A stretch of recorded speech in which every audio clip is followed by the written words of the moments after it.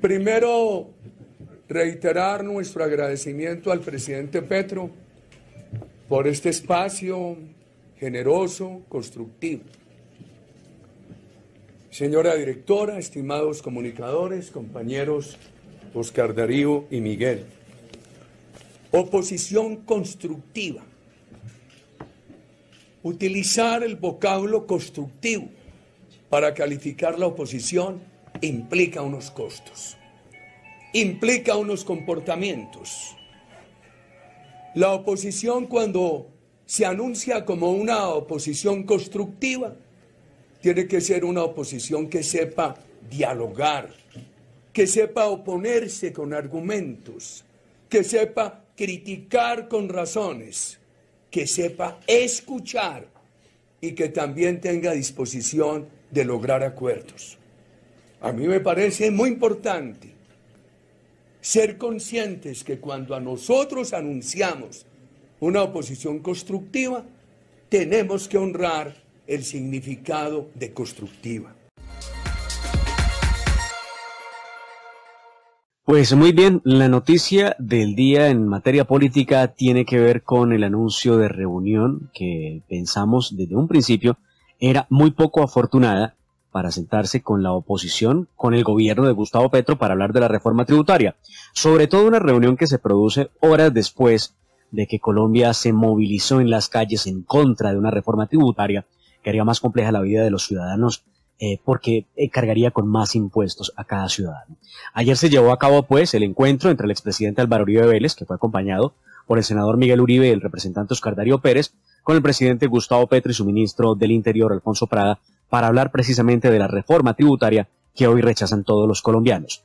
Muchos no entendimos para qué una reunión cuando todos estamos diciendo a una, como el Puente Ovejuna, no a la reforma tributaria. Pero bueno, la oposición se tenía que sentar con el presidente para decirle por qué no apoyan la reforma tributaria.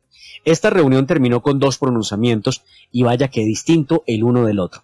Eh, por una parte tenemos el del Centro Democrático, que habló de oposición constructiva, de firmeza, de defensa de los principios, y por otra parte el pronunciamiento del ministro eh, Alfonso Prada, que interpretó que el partido de oposición apoyaría la reforma tributaria. Muy grave esa forma de interpretar del final de la reunión. En una rueda de prensa, esto fue lo que dijo el expresidente Álvaro Uribe Vélez sobre el encuentro. constructiva. Utilizar el vocablo constructivo para calificar la oposición implica unos costos, implica unos comportamientos. La oposición cuando se anuncia como una oposición constructiva, tiene que ser una oposición que sepa dialogar, que sepa oponerse con argumentos, que sepa criticar con razones, que sepa escuchar y que también tenga disposición de lograr acuerdos. Sobre si se renuncia o se cambia algunos principios de lo que siempre ha planteado el Partido Centro Democrático, respondió el representante Oscar Darío Pérez. Entendemos lo que quiere decir la palabra diálogo. El diálogo no quiere decir suprimir nuestros principios, nuestras formas de ver el país. El diálogo civilizado precisamente conduce para que entre todos construyamos lo mejor para Colombia. En el tema de la reforma tributaria fuimos particularmente expresos en que una reforma no puede sacrificar el crecimiento de la economía. Absolutamente claro, pero el problema de esta reunión fue que el ministro del Interior entendió una cosa totalmente diferente. Escuchemos qué fue lo que dijo el ministro Alfonso Prada. No, eh, recibimos, digamos, en relación con la reforma tributaria, el apoyo de los voceros que vinieron con él del Centro Democrático y del expresidente Uribe. Eso nos complace mucho porque sabemos que vamos a tener una, una reforma tributaria votada mayoritariamente o casi que por unanimidad incluso con la oposición como se está estableciendo. Ahora, ante esta afirmación tuvo que salir el senador Miguel Uribe, quien estuvo presente en esa reunión, eh, a, eso se expone a eso se expone A eso se pero mire, es que no iba a salir bien definitivamente por ninguna parte. Ahora sale el senador Miguel Uribe a tratar de aclarar pues que ellos en ningún momento están apoyando la reforma tributaria. Escuchémoslo. Los actos de buena fe no se pueden responder con abusos de confianza. Es falso que nos comprometimos a aprobar la reforma tributaria en la reunión con Gustavo Petro. Por el contrario, he sido siempre un enemigo de esta reforma porque desestimula la inversión, pone en riesgo dos El senador Miguel Uribe termina diciendo que presentarán ponencia negativa a esa reforma tributaria. Esto fue lo que pasó y es el resumen que en las voces de ellos mismos de lo que fue esa reunión, doctor Fernando, que como usted muy bien lo acaba de expresar, es a lo que se podían haber expuesto por cuenta de una reunión que resulta inoportuna para muchos ciudadanos que no entienden cómo la oposición antes de ayer marchaba en contra de la reforma tributaria, pero ayer se sentaba para dialogar sobre ella con el presidente Petro y su ministro del Interior. Esto se me parece tanto a las conversaciones que siguieron al triunfo apoteósico del pueblo en el plebiscito aquel, que ganamos y ganó el no, y al día siguiente estábamos en conversaciones con el gobierno de Santas Cosas. Bueno, estamos exactamente siguiendo el mismo sendero, el mismo camino. No hay apoyo del Centro Democrático a la reforma tributaria. No lo hay. Entonces, eh, toman la reunión con el presidente Uribe para decir que sí lo hay y para entregarle a la gente la idea de que esto es una cosa unánime y que todo el mundo quiere la reforma tributaria cuando el país marchó, marchó contra la reforma tributaria. De eso no cabe ninguna duda. Sin de la.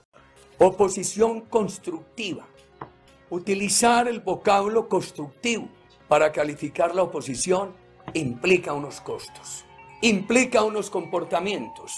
La oposición cuando se anuncia como una oposición constructiva, tiene que ser una oposición que sepa dialogar, que sepa oponerse con argumento, que sepa criticar con razones, que sepa escuchar y que también tenga disposición de lograr acuerdos. A mí me parece muy importante ser conscientes que cuando a nosotros anunciamos una oposición constructiva, tenemos que honrar el significado de constructiva.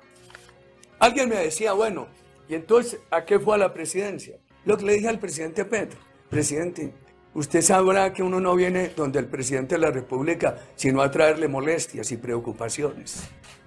Y, yo creo que él, él lo entendió.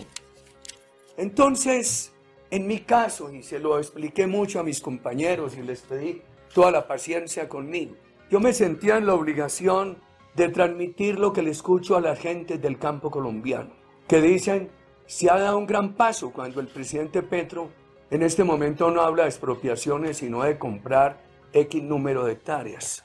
Porque eso concilia la necesidad de resolver unos problemas sociales campesinos y al mismo tiempo la necesidad de no afectar los sectores productivos del campo.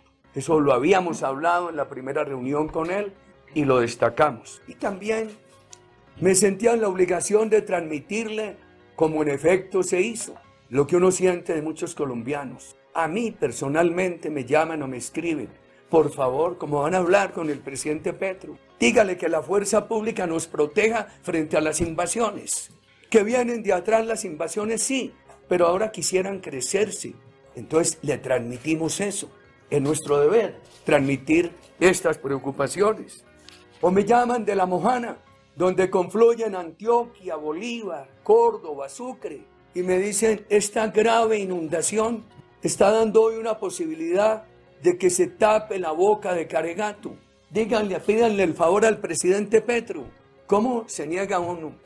No hay ninguna razón de oposición para, en nombre de la oposición, negarse a transmitir una sentida preocupación ciudadana como esa.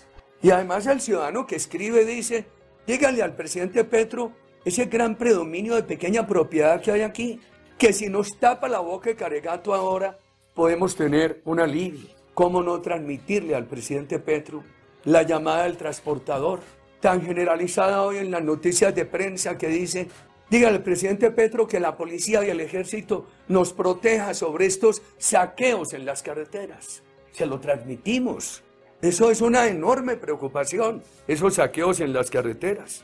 Yo me sentía en la obligación de hablarle de los militares. Dije, presidente, con todo el respeto por usted que es el comandante de las Fuerzas Armadas de Colombia y sin que yo haya hecho un solo comentario en público. Le quiero decir que siento familias de militares tristes que le dicen a uno, eh, sacaron a mi padre, el general, de pronto por una anotación en la hoja de vida injusta y entonces afectaron una larga carrera del servicio a la patria vistiendo los uniformes de las Fuerzas Armadas. Le insistí al presidente Petro en algo que hace cuatro años estuvimos cerca de tener una sala especial e imparcial en las Fuerzas Armadas, en la JEP, para los integrantes de las Fuerzas Armadas. Insistí en un argumento. El guerrillero que va allí, si reconoce un crimen, reconoce lo que a él le correspondía hacer, de acuerdo con aquello en lo cual estaba la guerrilla. Pero el militar que tiene que reconocer un delito para gozar la libertad, reconoce lo que no debía hacer y de pronto lo que no hizo. Me preguntaron, y habrá muchos que por la libertad reconocen el delito no cometido. Y yo sí creo, y lo he venido escuchando y conociendo, porque muchas veces la angustia familiar para que su padre, su esposo, el soldado, el capitán, el mayor, el coronel, esté libre, llega al punto de tener que ceder la verticalidad del honor militar en aras de la libertad y de la familia. Insistimos en esos temas. Uno recibe llamadas de colombianos que le dicen, está bien resolver un problema de salud preventiva, está bien resolver un problema en las comunidades rurales, está bien que como lo hizo el gobierno anterior que eliminó tres EPS, las malas salgan, pero las buenas, que son las verdaderas aseguradoras, ¿por qué las van a quitar? Si quitan las buenas, los únicos colombianos que mantendrían seguro son los que pueden comprar una póliza privada. Un colombiano A de altos ingresos puede estar afiliado a una EPS y además tener una póliza privada. Si le quitan la EPS, pues queda con la póliza privada. Un colombiano de bajos ingresos que solamente tiene la EPS y no tiene bolsa, no tiene aseguradora privada, si le quitan la EPS queda sin seguro. ¿Cómo no transmitir eso? El presidente ha manifestado sus preocupaciones sobre lo que puede ser la economía en los años que vienen. Los Estados Unidos está subiendo muchísimo la tasa de interés. En la historia económica de los últimos, ¿qué? 100 años. Hay una constante que cuando Estados Unidos sube esas tasas de interés, sobreviene una recesión mundial. Nosotros lo dijimos, Colombia con su aparato productivo puede defenderse, pero no hay que desmotivarlo con la reforma tributaria. Además le dijimos, para defender a Colombia ante un choque de la economía internacional, ayuda mucho tener 80 mil millones de dólares en los fondos de pensiones. Una cosa es un país en medio de una crisis internacional con ese dinero en los fondos de pensiones y otra cosa es sin ese dinero. Ahora, por supuesto, yo que he dedicado buena parte de la vida a trabajar esos temas, y lo he hecho con amor a Colombia, reconozco que los fondos de pensiones le ayudan al de arriba y al de la base. Porque el de la base en un fondo de pensiones se jubila con 1.150 semanas, en Colpensiones con 1.300.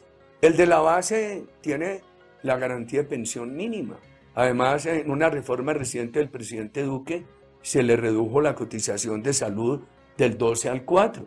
El de arriba no tiene problemas. A mí lo que me preocupa de los fondos que me parecen tan útiles para Colombia es el futuro de los sectores medios, que pueden tener una pensión baja, para lo cual, proponiendo nosotros alternativas, hemos dicho, podría aumentarse la cotización, pero todos estos temas económicos hay que mirarlos en su conjunto. El tema, por ejemplo, de la tributaria. Eh, Miguel y el doctor Oscar Darío les han expresado a ustedes algunos puntos. Nosotros le insistimos al gobierno que tiene una fuente de recursos que se debería estimar más en su exacta dimensión. Es el crecimiento de la economía y el control de la evasión. Si este país sigue ese camino de crecimiento de la economía y de control de evasión, nosotros hemos dicho, el presidente Petro podría cumplir su tarea social sin reforma tributaria. Entonces nos dicen, entonces, ¿por qué reforma tributaria? Es un compromiso del gobierno, una visión del gobierno. Y nosotros pensamos que la mejor reforma es dejar que la economía siga creciendo, controlar la evasión, el Estado sin corrupción, el Estado austero. Pero también hay una decisión política que por razones fiscales, sociales, así no, no, no, no, las, no compartamos esas razones y pensamos que se pueda resolver lo social de otra manera, pues respetamos esa decisión. Y por eso mis compañeros fueron muy claros en decir qué nos preocupa esa reforma y en sugerir modificaciones. También hay que mirar esto y lo hablamos con el señor presidente y se lo quiero decir a ustedes, estimados comunicadores, y a los ciudadanos de mi patria. Nos esperan tres o cuatro cosas, no fáciles, que hay que mirarlas en su conjunto. La tributaria, el alza de combustibles, para frente a lo cual el Centro Democrático ha dicho que por lo menos habría que darle una tarifa diferencial al transporte público de carga y de pasajeros y el salario mínimo, pero a no hablar todavía de la reforma laboral, de la reforma de salud, de la reforma energética, de la reforma de pensiones. Pensemos solamente en ese conjunto que se llama la tributación, el salario mínimo y el precio del combustible. Eso puede crear un conjunto que pare la economía.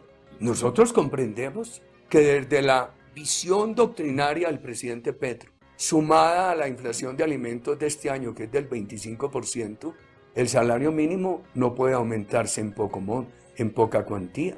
Eh, eh, y estamos llegando a octubre.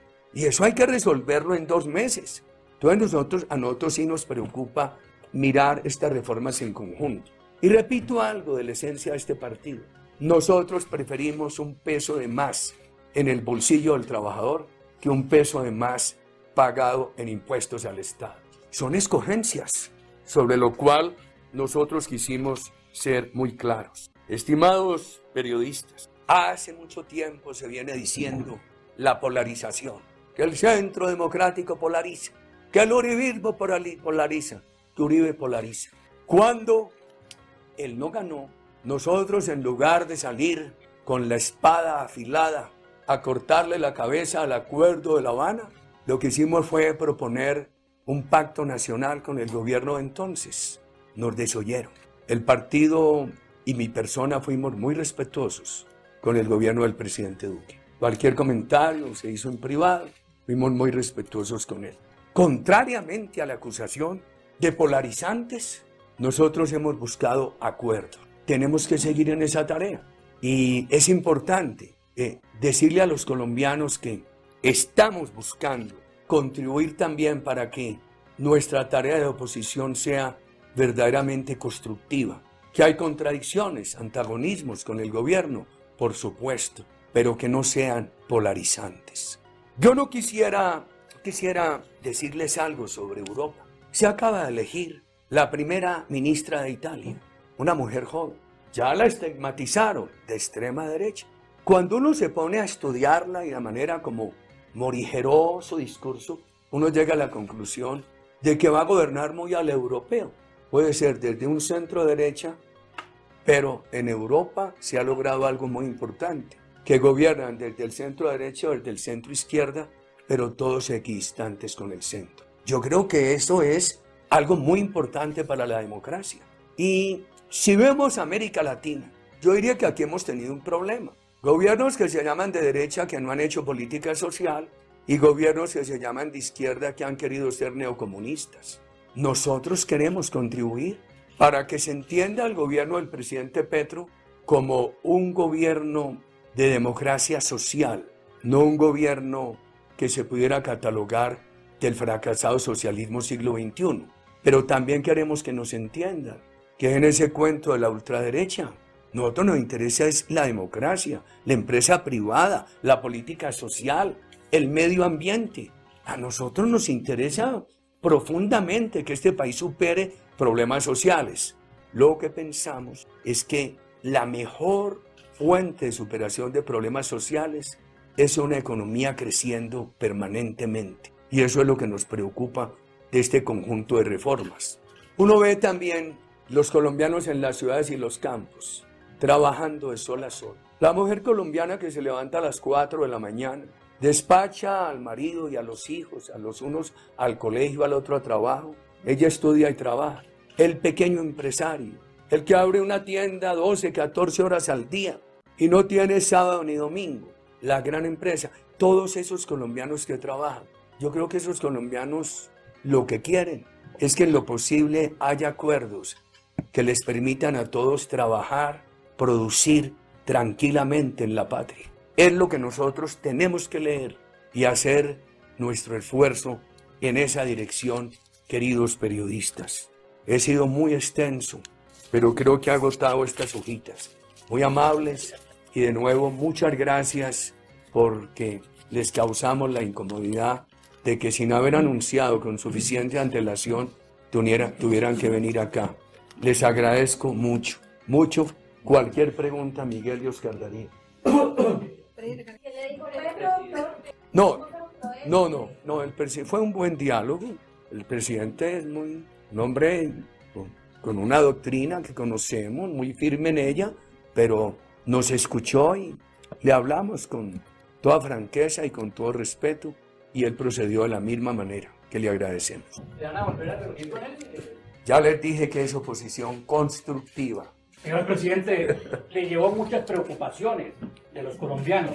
¿Qué le molestó al presidente Petro? ¿Qué le qué? ¿Qué, le molestó al presidente Petro de todas las preocupaciones? Y una segunda pregunta. A él no lo molestó ni la presencia de Miguel en la marcha. Pero una segunda pregunta, presidente. ¿En cuánto podría ser el salario, el, incremento para el Centro Democrático en el 2023? ¿En qué porcentaje? Ese es un tema difícil, Juan Carlos. Conocemos la doctrina del presidente Petro, sabemos el problema de inflación de alimentos que está rondando por el 25 de inflación general rondando entre el 9,5 y el 11.